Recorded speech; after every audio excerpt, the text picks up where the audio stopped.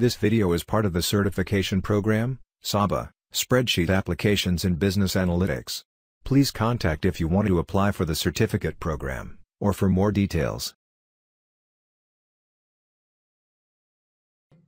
Next, I will take uh, some actual data and then we'll see how to uh, do the pivot table over there. So let's say we have some data over here. Okay, so this data is sales data of a, of a company. So where you have this is the order date, region, city, product code, product category, what is the product name, how many quantities sold, what is the total price, okay, and what is the total sales. So price per unit, sorry, it should be total price per unit. So let's say it's price per unit, and this is counting the total sales.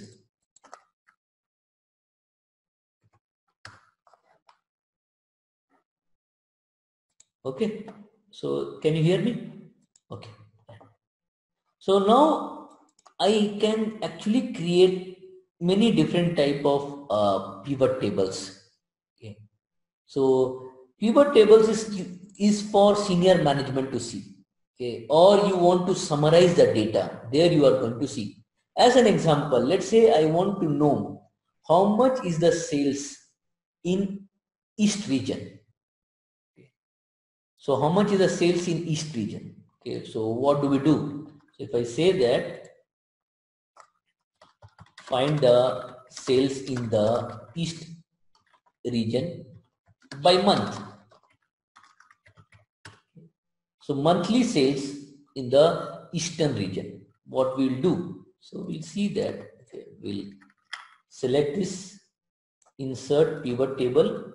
Okay, you have selected and now we want to put in the existing worksheet. Existing worksheet remember uh, we want it in sheet 1 sheet 1 I have selected let's say A6 press OK. So the pivot table this structure has come. Okay. Now let's see this. So when we whenever pivot table is highlighted okay you get pivot table tools. Okay where you have the options you have the design. Okay. So you can have options like if you select this field list so you can, this is a field list you can see. Buttons is a field list. Okay, so it is it is coming here. Okay, then field headers. Okay, we'll see that I think it when you apply filter. Then design. Okay, so then design like whether you want row headers, column headers, banded row. We'll see that once we get the data. Okay. Now what is the data we have? We want the sales in the east region by month. Okay, so we want sales. So sales has to be my aggregation values. Okay so see this. The moment I, I what I did was actually I dragged and dropped but you can actually just check this. When you check this it will come automatically here and Excel will try to identify where to put. Okay so if you if you just leave on the Excel then it can be overwhelming. So you have to think what you want to produce. So you want to have sales as a summation because you want the sales in the east region. Okay. So you want the region okay, as a filter or let's say you want the sales not the east region. Let's say you want region wise sales. So find region wise sales by month. So what we'll do is we are saying okay we have region wise sales so i'll put the region in column or i can put it in row also. Okay, so can if i put it in row see central east north south west some of the sales has come. Or i can put it in column also. Right? So either way i can put. And then i can put order date. Okay so see order date when when i have put it has come this order date uh, I can make it group wise group wise I can say month. So see this how we have done? Group starting ending and by default it is giving you something. Let's say quarter. So you can have quarterly grouping okay? You can have grouping you can have grouping monthly you can have grouping daily if you want. Actually all the data were like uh, uh, starting of the month. So grouping monthly is like working fine. So we are getting. So this is what you have got. So January, February, you have the this the month wise. This is the column levels. This you have the this you have the region and the pivot table by, by default will give you this grand total. If you want grand total, you take it. Otherwise, you can say that I don't want grand total. So you say grand total of. So you select, say grand total, I off for both rows and columns. But I don't want off for both rows and column. Let's say currently on for both. Let's say grand total you want for rows only. So see this rows only means it will come here. So for January row, the grand total has come. For February row, the grand total has come like this year. Or you want only for column. So for central region, the grand total has come. So since we are interested in the region wise sales, I'll keep this grand total. Right? But I want only the east over here. I don't want all. So what we can do is I can apply the filter in the column labels and I can select only east.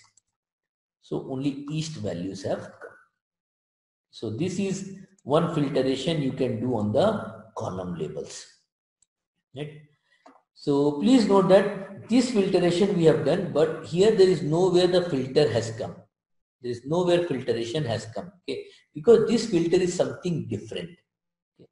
So as of now, I don't want to put any filter here. Okay, give, give it like this.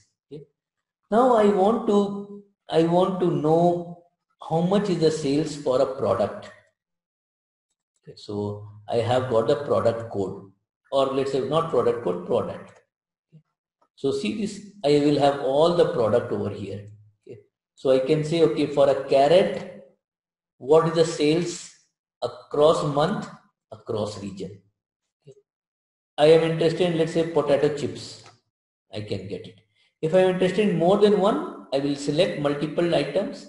I say banana and let's say carrot. Okay.